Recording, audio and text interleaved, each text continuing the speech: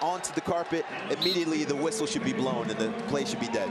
So three-point deficit for Ramos here in the final minute of the third. He is out. Two-point match. Ramos able to knock Lee to his rear end there. Locked hands.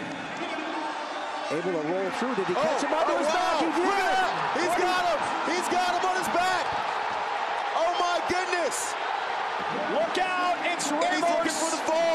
He's looking for the fall. If he just holds him here, he's going to pull one of the biggest upsets in NCAA wrestling history. No one would have expected this. Oh my goodness. He's not going to get off his back. Not going to be able to. He did it. Stepped across right there. And he's now looking he's for the fall. the fall. He's looking for the fall. Wow! Oh, my goodness. The Oh, unthinkable in. Tulsa.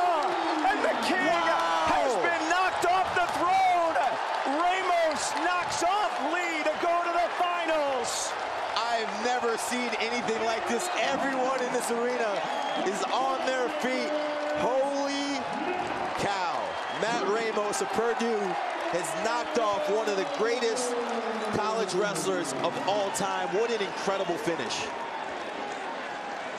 I'm telling you what, Jim, it was that break.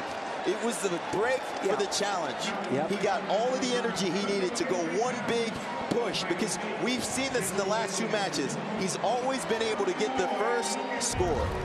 Watch and in the replay. position, This is so important right here.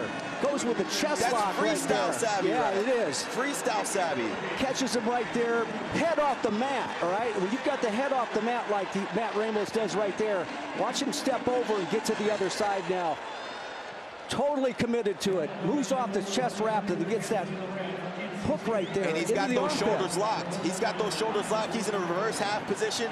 He's got that right hip down.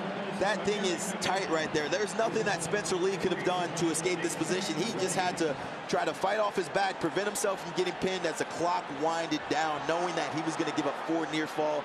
Watch What him cast over to the an other side right here to finish it off, though, champ. Wow. Watch him come over here. Comes to the other side right. Settles back into that half Nelson right there. Unbelievable. Mike. I'm in disbelief. I am too. I'm in disbelief. A stunned crowd here in the BOK Center. Perhaps even he might not have dreamed that this would have happened. And he is into the NCAA finals to take on Pat Glory.